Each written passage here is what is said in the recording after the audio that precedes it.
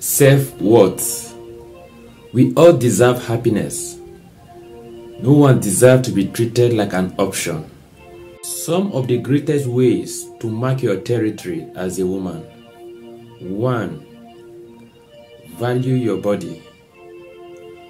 2. Don't make yourself available without invitations. 3.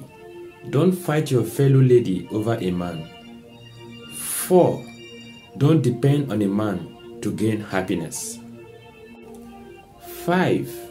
Never mark your territory with sex. 6. Allow a man to prove his love to you by actions, not by promises.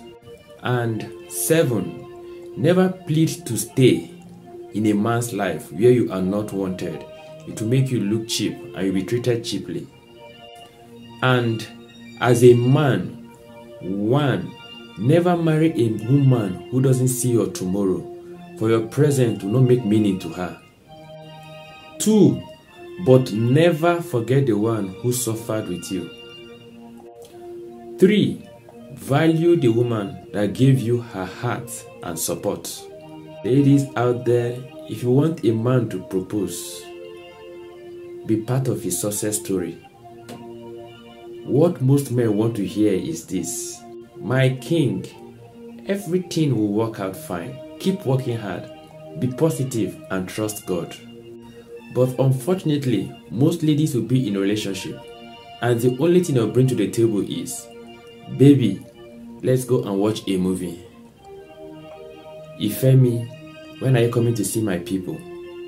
I want you to know this today that he can come and see your people but he can never pay your bride price. Do you know why?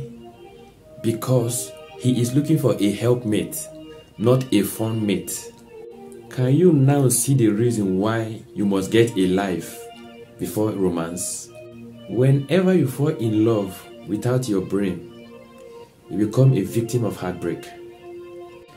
In conclusion, every man's body language will tell you whether you are his soulmate or sexmate.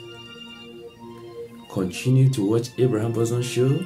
Together we shall make it a better place. Please don't forget to press the subscribe button to get notifications of other videos. Ciao ciao.